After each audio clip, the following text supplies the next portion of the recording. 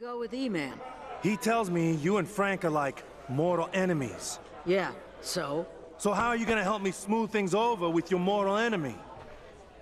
There's not a problem in the world that money can't buy. Or, no, that's not right. You know what I mean. Money fixes everything.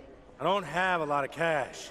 I'm gonna help you out as a favor to your cousin. He was a loyal earner back in the day. Only thing is, a while back, I made the mistake of putting Karen in charge of my finances. Brat's got me on a tight leash. Which is exactly why I called in a favor from an old acquaintance, who just dropped off a briefcase full of green at an agreed-upon location.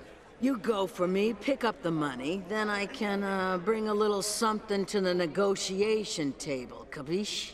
Fine, sure.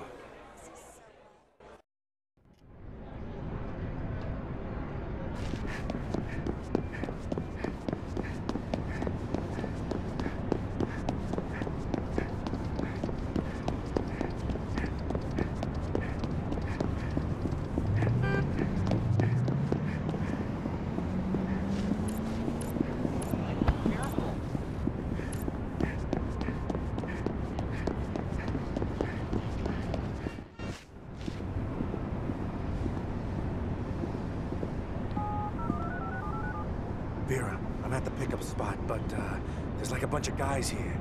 What? Ah, must have gotten a tip-off. You gotta get that money. But the last thing we want is unwanted attention. No bang bang is what I'm saying. You get me? Yeah, I gotcha. Hey! There he is! Take him down! I gotta go. Walked right into this one, chump!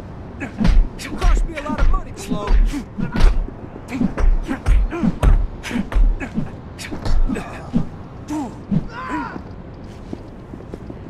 Frank! When Frank says go down, you go down.